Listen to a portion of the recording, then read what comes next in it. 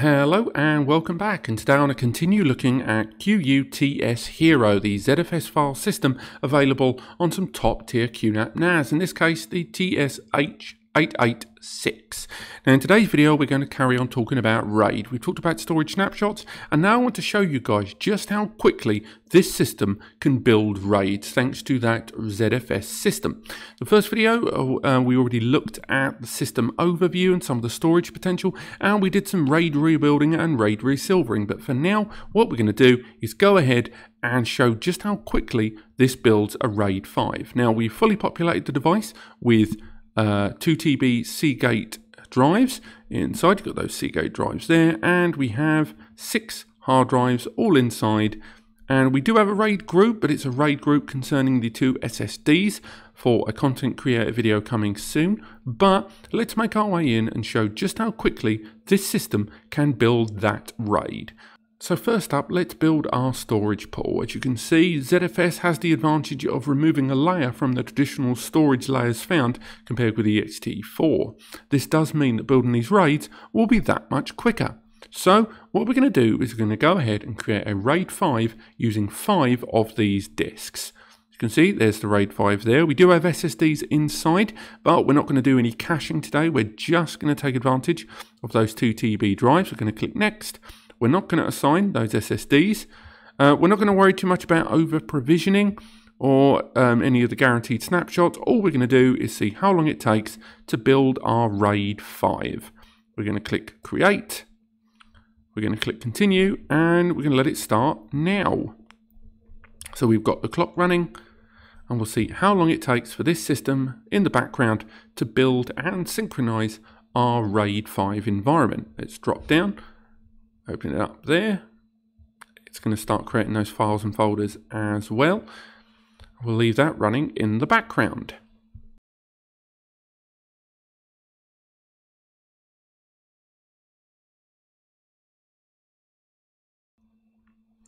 So as you can see the RAID 5 has been completed, now it's just creating those shared folders. The RAID 5 system, they're in place. There's all of those drives.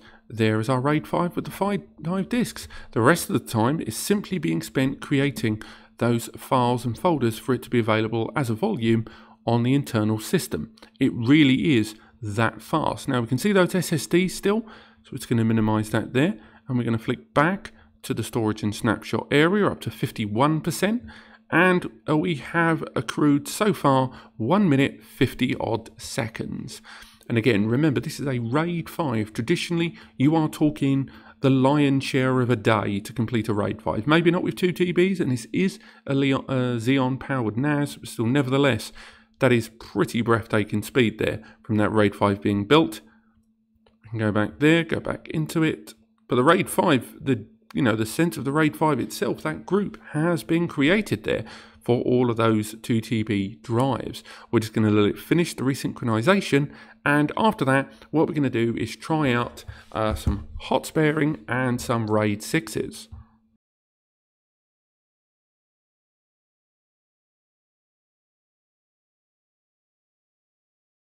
Cool, so we're closing in in the final percent. We're at 100% now of the creation here on the Storage and Snapshots Manager we go into File Station here and refresh that page, have a look there, see if it's occurred there in the background. As we can see, it has created our public folder and all the individual folders for that RAID 5. It's nearly done now. It's creating the folders and there we go. I think right now we are past the finish line. We can go ahead. It's been four minutes so far. And if we go into the RAID configuration, we can double check and indeed in that RAID group, wrong RAID group there, we can see no synchronization. The RAID is complete. Let's remove the previous disk from that storage pool, but for now, it is all done. And there you go, it has finished. And that was under five minutes, four and a half to be precise, for building a RAID 5, which is pretty substantial. So next up we want to create a hot spare. We want to see what happens if we create a hot spare on this RAID environment with the drive that remains and then we're going to pull a drive from the original RAID array to see how long it takes the system to make the swap onto the hot spare. So let's go, let's create our hot spare now.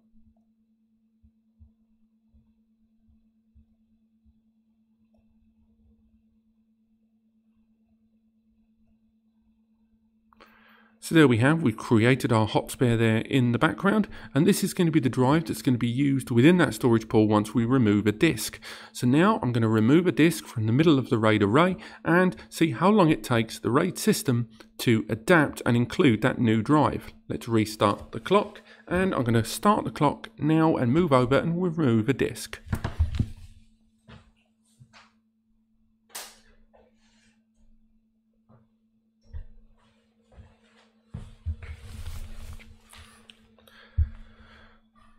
So there's approximately a 10 second anomaly there uh, between removing the disk and me coming back. So we'll have to factor that in at the end. But I've removed disk um, 1 from the system. So disk 1 in a moment is going to show that it's unavailable. And the hope is that RAID 6 will jump in. And we want to see how long it takes the RAID configuration to adopt this new disk. And as you can see, the RAID group, we can see what the situation is, and it's not even showing degraded. It has automatically incorporated this new disk. It is worth highlighting that this system has is doing this on empty disks. As you see, the rebuilding has finished and it has adopted this brand new disk. And now disk one has been completely ignored and the new disk interjected into it. We barely even needed the clock in the first place. I'm just going to quickly reintroduce that drive.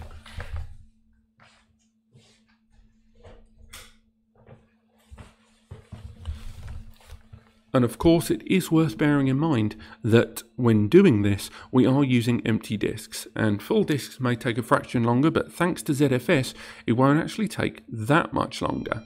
So there is that disk, and now we can choose whether we want to incorporate it into the RAID or if we want to go ahead and create it a hot spare. But what we're going to do now is we're going to delete this RAID pool and then from there we're going to see how long it takes the system to build a RAID 6. Right, so that storage pool has now been removed. So let's go ahead and time how long it takes this system to build us a RAID 6. We've got the clock reset. Let's go into the storage and snapshots area, click manage. And we're going to go for a create, my bad. We're going to create a brand new storage pool. Once again, we're going to go all the way through the same steps. This time we're going to create a, create a RAID 6 with all of those disks inside. And this RAID 6, by the way, is going to be useful in our next video where we're going to talk about RAID rebuild spe speeds uh, on a ZFS platform. But for now, let's click next. Uh, we're not going to worry about the SSDs. We're not going to worry about over provisioning. We're going to see how long it takes for us to build this RAID 6 environment. We're going to click create and then we're going to click OK and then get the clock and click start. So once again, we're going to time it until it gets to 100% uh, for this RAID 6 storage pool. We're not going to muck around too much with FileStation or all the other options because we know uh, when the storage pool percentage figure here reaches even 20%, the RAID 5 as a storage area will be complete. To the full RAID 5 um, uh, RAID 6 configuration we're doing here is to include all of those folders and all the extra stuff. Given that a RAID 6 will typically on a NAS of this power still take somewhere between 6 and 8 hours even on 2 TB drives due to the complex nature and double parity of a RAID 6, it's going to be interesting to see how long it takes for this system to build this RAID 6 environment, given we're already at 20% complete. Let's fast forward.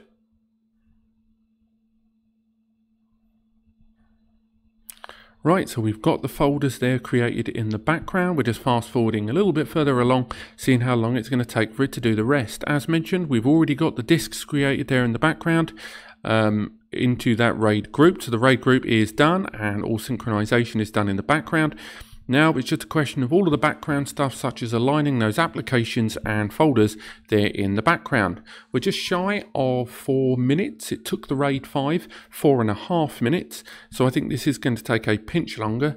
Uh, but even then, uh, the, the, idea that a RAID 6 is going to take minutes, not hours, is still pretty bloody impressive, and we have to give it credit for that.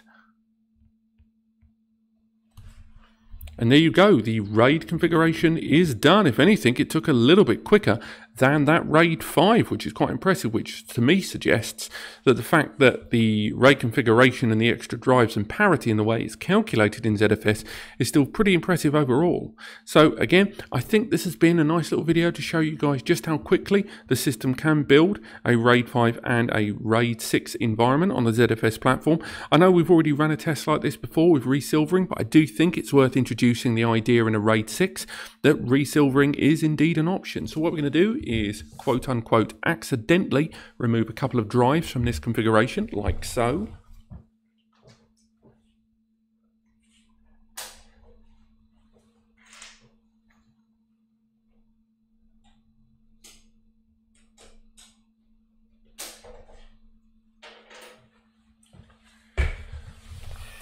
And because this is a RAID 6 configuration, we can afford to lose two disks in this RAID environment in terms of parity data.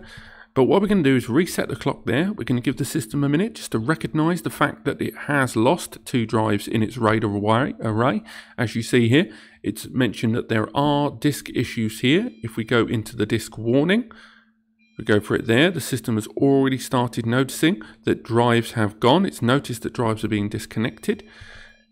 Oh, this is refreshing there. You don't even have to refresh the page. And that first drive got noticed first, and now disks 1 and 4 have been removed, although we can, of course, still interact with our data because this is a RAID 6 environment. Um, and then I'm going to introduce these drives. Now, normally on an ext4 setup, what would happen is even if you reintroduce those drives as they are, they wouldn't be visible and you would need to treat them as they are blank drives and rebuild your array configuration. Um, but what we're going to do is reintroduce those drives like so.